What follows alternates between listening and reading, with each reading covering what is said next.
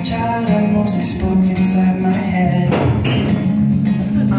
Had conversations with the clouds and dogs the dead. They thought me broken, that my tongue was coated lead, but I just couldn't make my words make sense to them.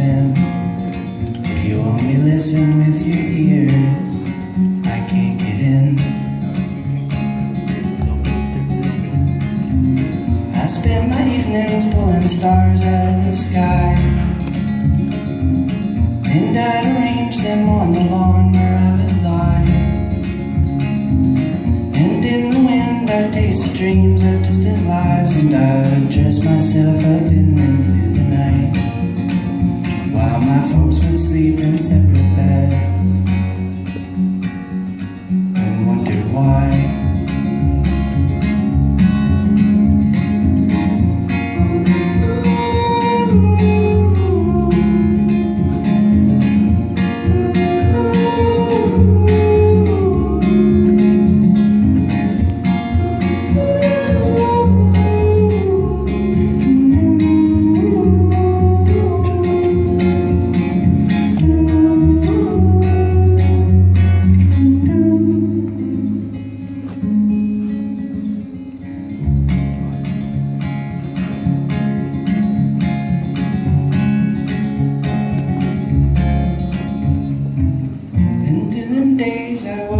a ghost atop my chair.